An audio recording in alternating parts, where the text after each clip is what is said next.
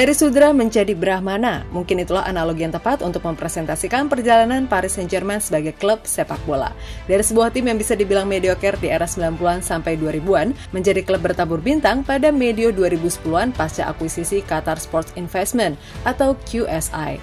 Di bawah manajemen QSI, Paris Saint-Germain bertransformasi sebagai klub dengan dukungan finansial tak terbatas.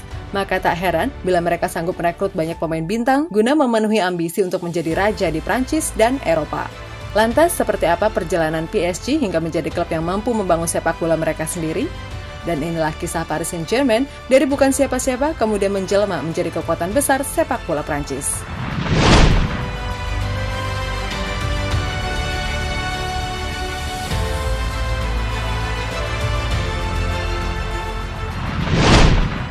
Saat ini kita mengenal PSG sebagai tim super kaya yang disebut-sebut mampu membeli siapa pun pemain bintang. Ya, dengan dana melimpah yang mereka miliki pasca akuisisi Qatar Sport Investment atau QSI.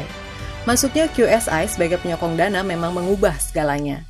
Segala sektor di tubuh klub mendapatkan sentuhan perubahan, baik akademi klub, pengembangan tim sepak bola wanita, sampai adanya tim e-sport. Walau tidak mudah, tetapi QSI punya tekad kuat untuk menjadikan klub ibu kota Prancis itu sebagai ikon sepak bola global yang kukuh bersanding dengan tim-tim sekelas Barcelona, Bayern Munchen, Manchester United, dan Real Madrid.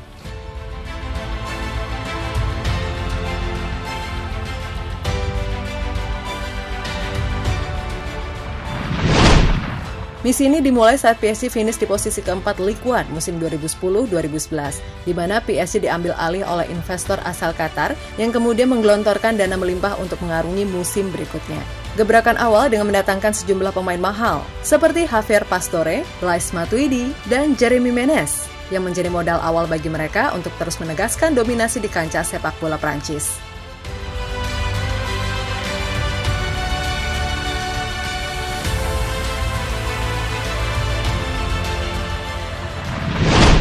Kemudian di musim berikutnya, PSG resmi mendatangkan Marco Verratti, Zlatan Ibrahimovic, dan Thiago Silva.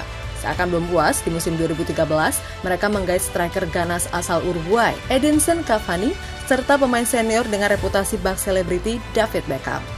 PSG semakin mengkukuhkan statusnya sebagai klub kaya raya ketika pada tahun 2015 mereka mendatangkan winger Argentina, Angel Di Maria. Lalu pada tahun 2017, demi meraih ambisi menjadi juara Eropa di mana mereka selalu terhenti di babak delapan besar, Les Parisiens secara jor-joran menggait Dani Alves, Neymar, dan juga Kylian Mbappe.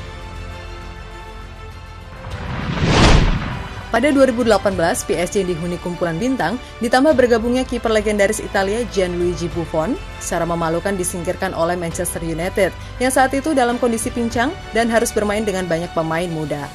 Meskipun di tahun 2020 PSG berhasil menembus final Liga Champions, namun sekali lagi Nasser Al-Khelaifi merasa masih belum puas. Dan boom, pada 2021 ini, klub yang bermarkas di Parc des Princes ini melakukan transfer besar-besaran. Ya, nama-nama seperti Akraf Hakimi, Winaldum, Donnarumma, dan Sergio Ramos didatangkan guna membenahi skuad yang dianggap timpang karena terlalu banyak pemain yang dianggap kelas 2 bagi tim sebesar PSG.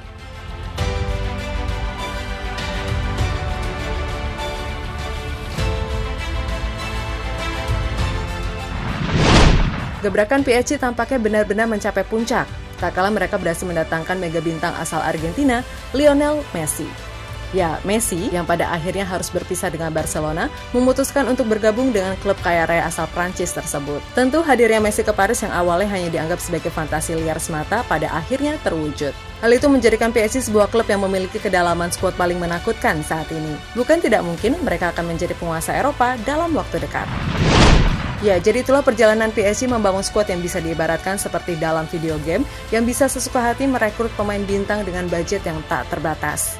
Namun selayaknya kehidupan yang mempunyai dua sisi, jaminan uang melimpah tentu memiliki dampak positif dan negatif. Patut kita nantikan bersama kiprah PSG di musim 2021-2022.